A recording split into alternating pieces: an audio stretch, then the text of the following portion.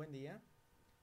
En este video de tu abogado virtual explicaremos el protocolo de actuación para quienes imparten justicia en casos que involucren niñas, niños y adolescentes. Un protocolo que está basado para las leyes de México y que hablan específicamente de la protección que se debe brindar a los menores de edad en el sistema penal, acusatorio o lo más conocido como juicios orales. El objetivo es el reconocimiento y la protección de los derechos de los niños, la adecuación del procedimiento judicial a las necesidades del niña, niño y adolescente, así como un marco de actuación para la protección de los derechos de la infancia. Asimismo, la protección del interés directo de la niña, niño y adolescente, ya sea como persona demandante o persona demandada. Los obstáculos que presenta el protocolo es respecto al que el niño, niña o adolescente se encuentra en un mundo adultocentrista. Voy a explicar esto. Eh, nos referimos a que está en un mundo que no conoce el niño y al que no está acostumbrado. Esto en virtud de que es un sistema legal basado para los adultos y solo para adultos.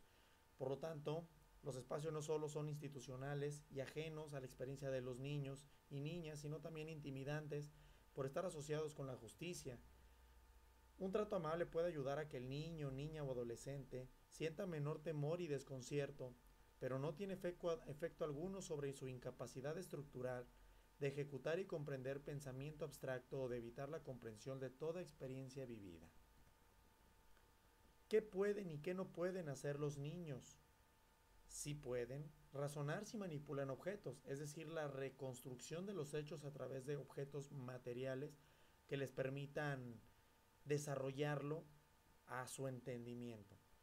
Si pueden describir lo que pasó, si pueden señalar y mostrar con objetos concretos lo que les comenté anteriormente, si pueden describir la sucesión de hechos vividos siguiendo el hilo subjetivo de su recuerdo, si pueden describir lo que sintió y vivió. Asimismo, si pueden narrar los hechos vividos según golpes de recuerdo y siguiendo un hilo subjetivo. ¿Qué no pueden hacer? No pueden razonar solo con ideas abstractas, no pueden explicar lo que pasó, no pueden eh, describir variables de lugar, ubicación solo con palabras. No pueden explicar la causa que provocó un hecho, tampoco pueden ponerse en el lugar de otras personas, ni describir lo que otras personas hacían.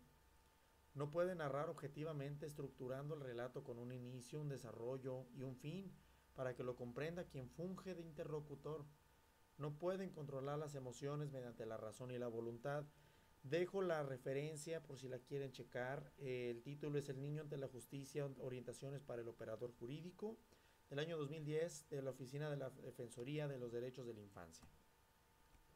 Existen principios generales dentro del mismo protocolo de niños, niñas y adolescentes, conocidos como el interior superior, interés superior del niño, niña o adolescente, la no discriminación, el trato serio y la sensibilidad, la no revictimización, voy a explicar un poco esto, el hecho de que el niño ya fue víctima de un trauma, de una cuestión que lo marca, que lo, lo demerita al niño, y el desarrollo de la audiencia, en el mismo desarrollo de la audiencia, puede ser contraproducente, ya que en el desarrollo de la audiencia se tiene que volver a retomar los hechos como pasaron, retomar las cuestiones que ocurrieron, los detalles para la valoración jurisdiccional y esto puede afectar a los niños de manera tal de que si fueron víctimas vamos a volverlos a introducir en el hecho del que ya fueron partícipes.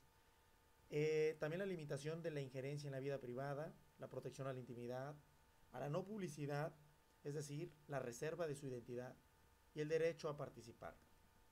Principios del sistema de justicia para adolescentes, Dentro de estos principios también nos basamos en el fomento del bienestar del adolescente, es decir, el enfoque principal del sistema jurídico con el que las personas que son menores o presuntos delincuentes son procesados. Asimismo, un principio de proporcionalidad nos dice, el castigo debe ser proporcional al delito. Consideraciones específicas en materia penal. Estamos hablando del principio de oralidad y otros principios que estaremos hablando más adelante.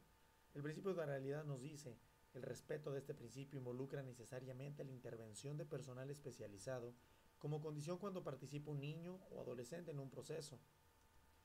El principio de publicidad, como ya lo comentamos, la publicidad podrá delimitarse tratándose de personas menores de edad y cuando fuese necesaria la protección de testigos. La fracción quinta del apartado C del artículo 20 no lo marca. En los casos de personas menores víctimas, se resguardará la identidad, para lo cual se tendrá, entre otras cosas, que limitar la publicidad. Principio de contradicción. A la luz de este principio, todo el acervo probatorio que se realice en la etapa de investigación deberá ser nuevamente presentado ante el juez para que las partes en igualdad puedan contradecirlo. Ya hemos hablado que el principio de contradicción es la intermediación que existe entre las partes y el juez. Es lo que hace nuevo el sistema de justicia penal. Dicho principio se resguarda impidiendo, por ejemplo, la participación ociosa del niño en el proceso. Asimismo, se deberá lograr un equilibrio entre el derecho de la parte acusada a contravenir el derecho del niño y la necesidad de proteger a este último de repeticiones innecesarias.